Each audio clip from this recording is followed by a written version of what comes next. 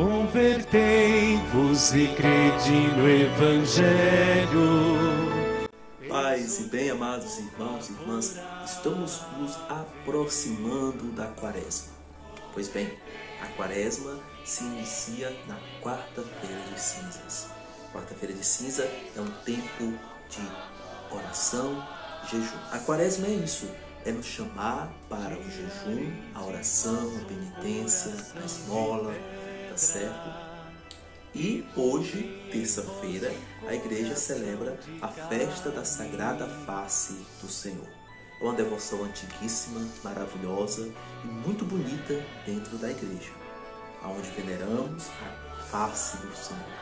Essa face adorável, essa face amável, que deixou-se ser martirizada pelo nosso amor, pelo seu amor por nós, por esse amor que ele queria conquistar de cada um de nós. A quaresma, que inicia amanhã, quarta-feira, inicia-se com a missa de cinzas. A missa de cinzas, como muitos chamam, é para relembrarmos aquela passagem que o Senhor lá em Gênesis disse a Adão: Tu és pó e ao pó tu voltarás. É relembrarmos que nós somos frágeis, nós somos é, pequenos vasos de argilas nas mãos de Deus que é o oleiro. Ele que modela, ele que faz o formato em nós. Nós somos frágeis. Por isso que a cinza, convertei-vos e crede no Evangelho. Amanhã nós iremos ouvir isso na missa de cinzas. Quando o sacerdote ou o ministro for colocar cinza na nossa cabeça ou fazer o sinal da cruz, é para relembrarmos: Tu és pó, é o tu voltará. Convertei-vos e crede no Evangelho. Tá certo?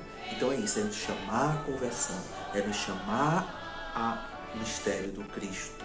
Por isso, na quarta-feira de cinza, algumas igrejas já cobrem as imagens com pano roxo.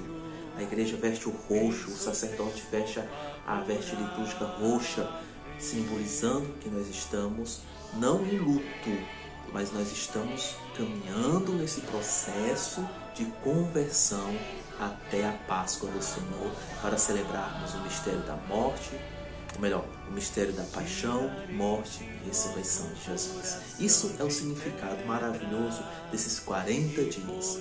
Não é apenas só 40 dias, mas 40 dias de oração, penitência, jejum, em busca de renovarmos o homem velho e transformarmos em homens novos, mulheres novas, crianças novas, jovens novos no amor de Cristo.